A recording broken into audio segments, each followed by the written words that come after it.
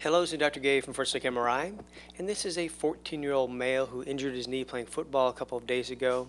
He's got knee pain and swelling, and we see here on this midline sagittal view one of his problems. So this is the femur coming down. The growth plate is right here, the physis or growth plate, that looks normal. Down here we have the tibia, the growth plate looks normal, and the bone in front is the kneecap or the patella. Now normally the patella, the middle of it will be right at the level of the growth plate here. Instead it's up high, so we have a high riding patella. And that's a pretty common anatomic variant where the patellar tendon here that comes off the bottom of the kneecap down to the tibia. This is developmentally elongated and this is high riding. And that will allow the patella to be hypermobile and prone to dislocate. Sometimes the patellar tendon is developmentally shortened and the kneecap will be way down here. That'll cause abnormal stress. It can cause arthritis, but in this patient it's high riding. The patient also has another finding here. So if we look on an axial view and short axis, we see the kneecap. And the kneecap morphology is not quite normal. Normally it'll have a more deep V-shape appearance. The patellar apex will be down lower and the outsides, the medial and lateral uh, facets will be up higher and it'll look like a V, but instead this is relatively flat. So we call this a congenitally flat patella. And also, here, this is the front of the femur. We should see a deep V, a corresponding V here. This is called the trochlear articular surface.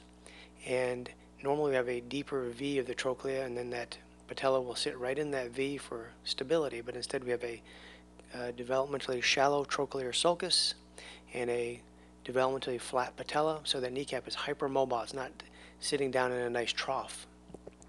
And also the patellar tendon being elongated allows the patella to be too high and just above this trochlea that's already too shallow.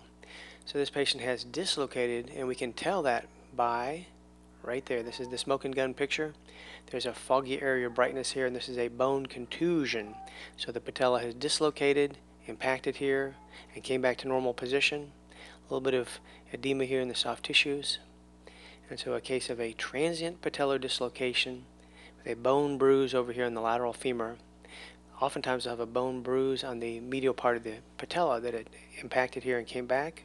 Sometimes they'll have a chondral injury, the articular cartilage, which is this gray area, will have a, a tear or contusion but this patient does not. So this is a sagittal view, the same thing. We see the high riding patella, again, should be here. We see the developmentally elongated patellar tendon, and the bone bruise is right over here. Hard to see on this view, but we see a small articular defect. This is the articular surface along the far anterior margin, that bone injury wrapped all the way down to the far anterior margin of the articular surface here. So transient patellar dislocation related to a congenitally high riding patella and the shallow trochlear sulcus and the flat patella. Thank you very much.